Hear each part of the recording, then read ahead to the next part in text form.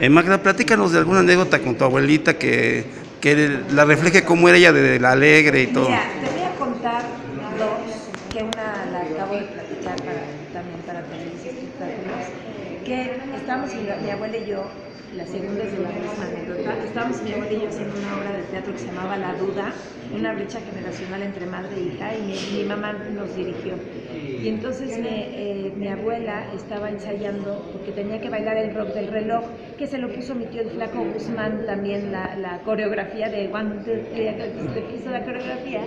Y entonces estaba ensayando el rock del reloj afuera del foro donde estaba grabando, no me acuerdo qué telenovela, y mi abuela estaba bailando y de repente todos los actores se quedan viendo así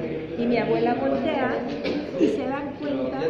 de que estaba el señor Emilio Azcárraga mismo ahí detrás viéndola bailar y voltean y dicen, Emilito, vente y se pusieron los dos a bailar el rock del reloj.